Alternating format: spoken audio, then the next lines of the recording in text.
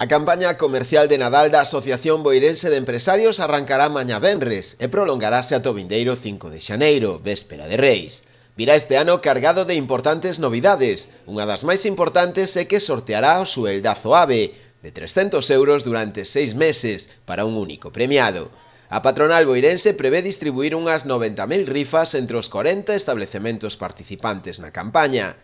As rifas serán numeradas e entregaránse por cada 10 euros de compra. Participan todos os establecementos asociados á AVE, os que queiran participar na campaña de Navidad, e repartirán rifas eh, entre todos os seus clientes, numeradas, que así son, non habrá que cubrir, por cada 10 euros. Eh, sortearase eso, un sueldo durante seis meses de 300 euros a un único gañador. Creemos que con esta volta de tuerca pois vamos a facer unha campaña moi atractiva e, e así e intentar que traer un público masivo a, de compras a, a Boiro. Outra das novidades da campaña serán as cartas para os reis, que cada negocio participante repartirá tamén entre os seus clientes.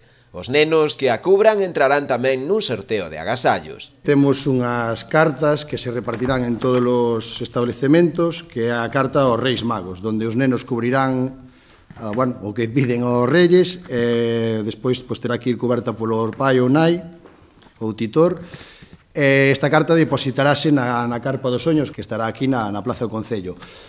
Con estas cartas, pois eh, sortearemos tamén o, na clausura do, da Carpa dos Soños, que será o 4 de Xaneiro, sortearemos pois, dous monopatíns, un tradicional, como vedes, e outro eléctrico, que esperemos sean llamativos e, e lle gusten aos nenos. A AVE en colaboración co Concello volverá ofertar o servizo de ludoteca gratuito, para o que será necesario presentar tamén un ou varios tickets de compra en calquer establecemento de Boiro, por importe de 20 euros.